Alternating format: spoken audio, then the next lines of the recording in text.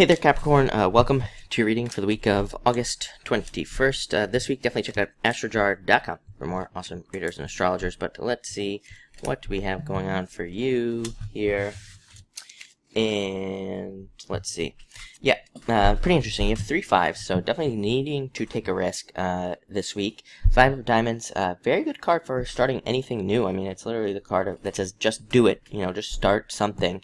If you have any ideas or plans or you want to hang out with somebody or whatever. Uh, do, just get started. That's what this card says. It says there's going to be a lot of success.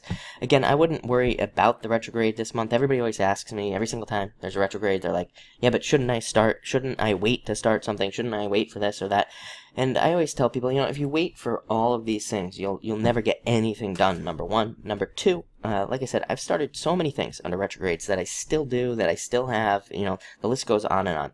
Uh, so again, I think that it's just important to just get started even if it changes, even if it turns into something different, I think now is the time to do it. Uh, also, a card of unexpected news. So a lot of you could get a lot of surprises. I wouldn't normally say that, but you have three fives this week, which is pretty crazy. Um, you know, fives are kind of tied to Uranus, and so there could be a lot of surprises this week.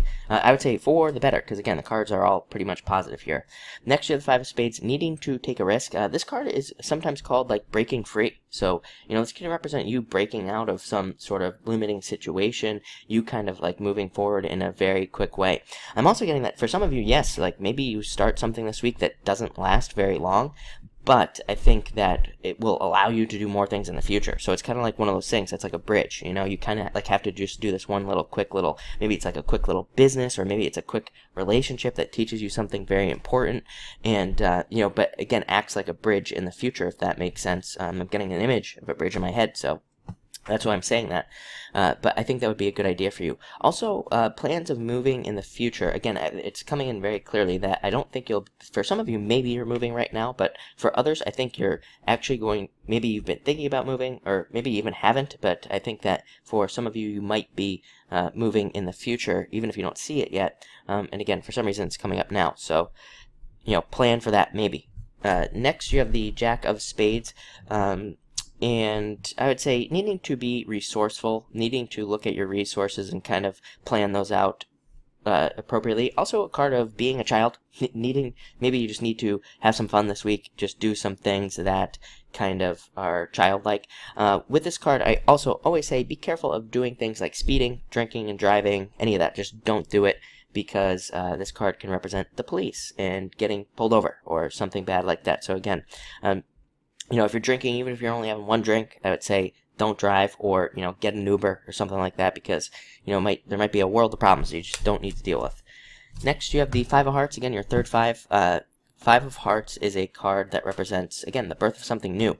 It can represent jealousy. I would say for some of you, you might end up you know, kind of being very successful at work or having a very successful moment, and that could lead to a lot of jealousy. Just ignore it uh, with this card. And for others of you, again, it just represents the birth of something new, starting a new business, starting a new relationship, uh, even just starting a new diet or new spiritual belief. Or, you know, it doesn't have to be anything major. It could just be something, uh, you know, kind of very, very small.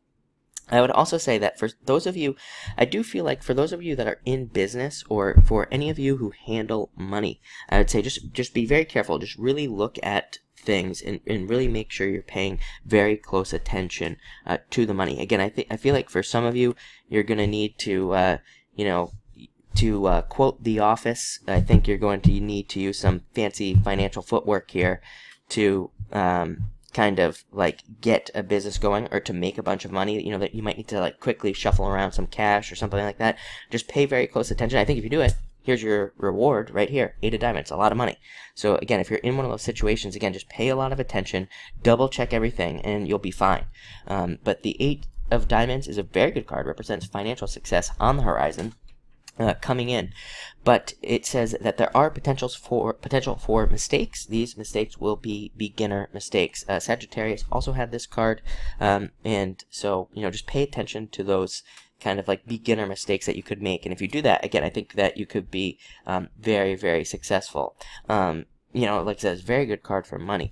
And then finally, you have the Four of Clubs. I always say that when this comes up during Mercury retrograde, it just represents the, Mer the Mercury retrograde, uh, but it's also a great card for um, having your mind be very clear. So even though we're in a retrograde, I think that you know, thing, your thoughts and your ideas could be uh, very much in line with the truth. So pay attention to your thoughts. But looks like a one heck of a week. Three fives, like I said. Wow, um, you know, definitely take some risks with that with those fives you know, and, and like I said, plan out your ideas. Uh, five star cards of adventure, cards of moving, cards of like having fun. So make sure to do all those things. Cards of taking um, advantage of hobbies and having hobbies. So do all that stuff. But uh, looks very interesting. So thank you for watching and enjoy your week.